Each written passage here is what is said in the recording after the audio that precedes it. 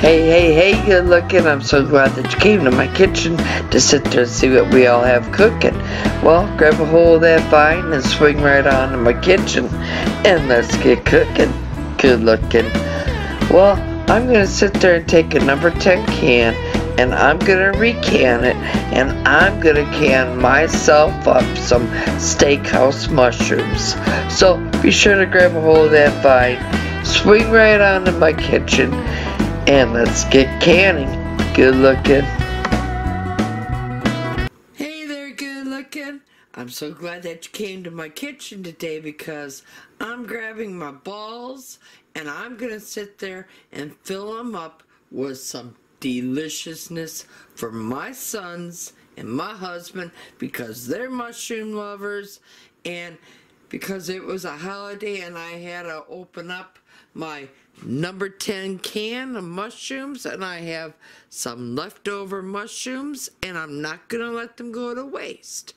So I figured this would be a great time to bring you along to show you one of the ways that I recan number 10 cans of canned mushrooms and this is the pieces and stems. So let's go ahead and jump right on into one of the recipes that I use to recan those number 10 cans of mushrooms.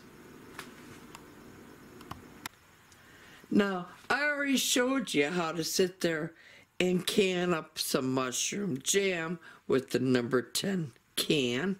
Now, I'm going to sit there and show you how I can up some steakhouse mushrooms. I have four cups of mushrooms here. Go ahead, dump them all down inside.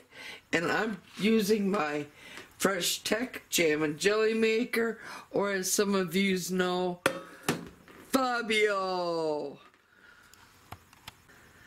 Now, y'all know how much I do love Fabio, and my love affair is still going strong with him.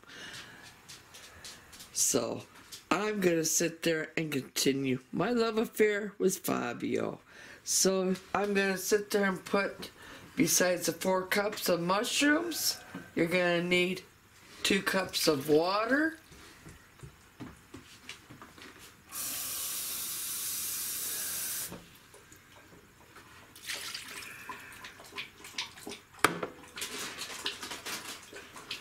Two tablespoons oil.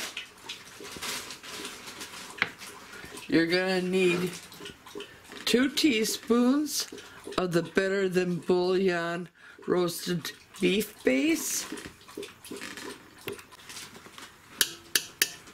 So let's add the Better Than Bouillon.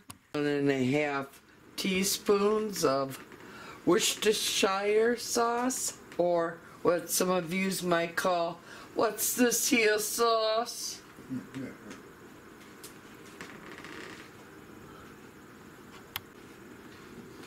Half a teaspoon onion powder.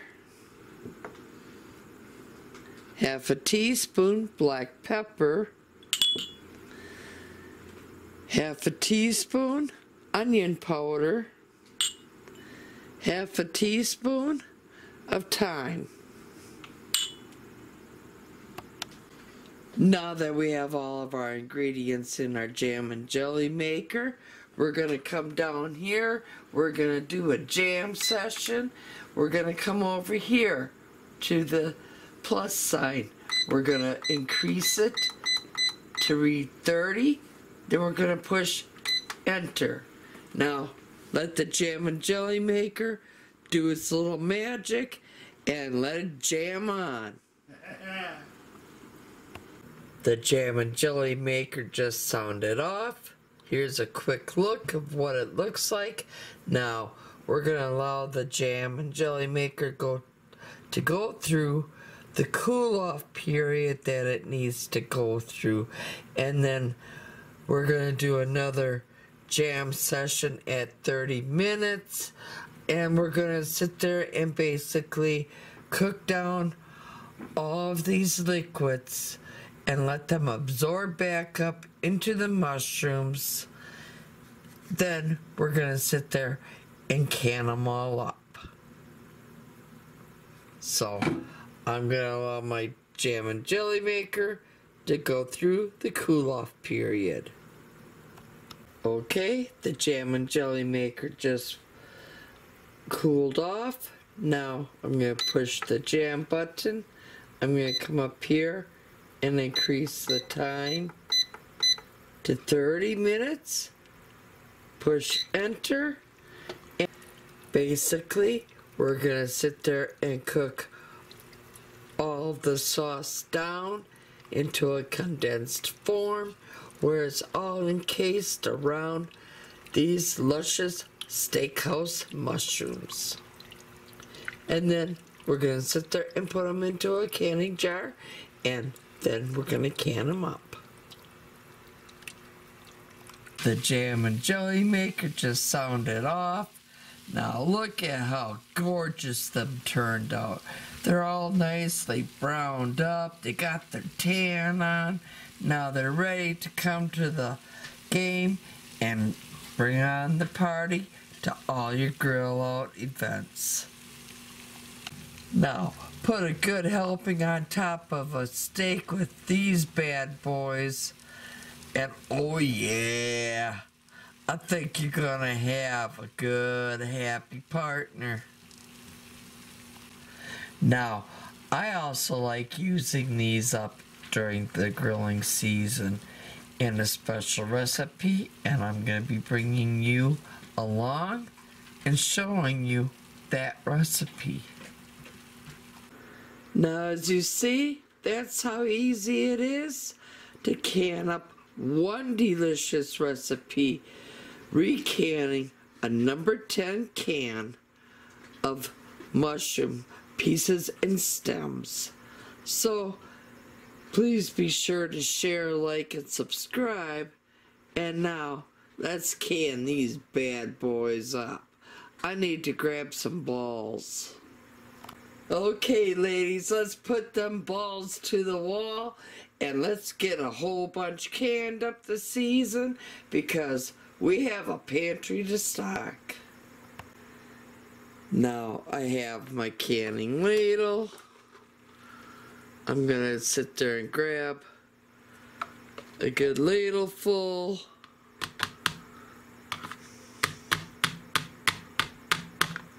I'm gonna grab a little bit more. We're gonna grab our debubbler and we're gonna go in and kind of help push the rest of these down on in and take out any big air bubbles or air traps that might be inside of the jar.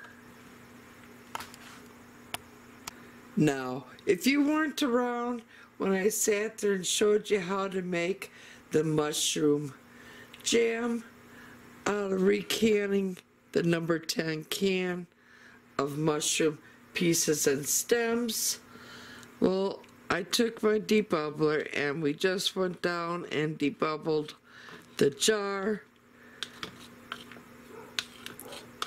And I want you to do the same.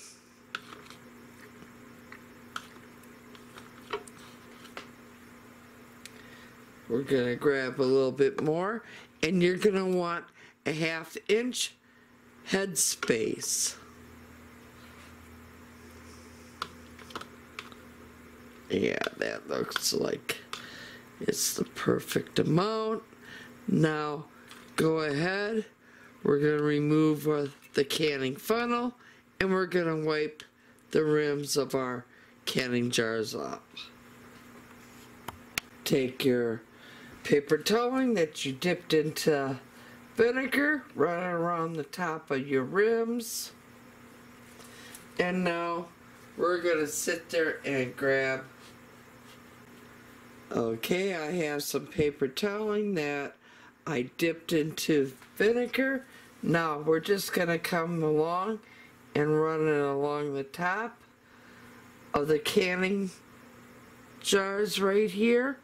That way we're ensuring a proper seal every time. Now I have my canning lid and my canning ring. We're gonna sit there and finger tighten and I'm gonna sit there and mark what's inside of my jar before I put it in my pressure canner because we're gonna sit there and pressure can these up for 45 minutes at 10 pounds of pressure. So I labeled my jar and I'm just gonna sit there and bring you in for a close-up view. Look at them steakhouse mushrooms. Oh my goodness. Grilling season just got so much easier. Hi ho, hi ho. Off to the pressure canner these go. Can these at 45 minutes at 10 pounds of pressure, and voila, you just canned up yourself some excellent steakhouse mushrooms. Now be sure to share, like, and subscribe. And if you're a new subscriber, welcome to my channel. If you're not yet a subscriber, go up, hit that subscribe button, tap that little bell. That way you always be notified every time I do put out a new video. And as always, here's to happy canning, but better yet, happy eatings. Y'all come back now. You hear?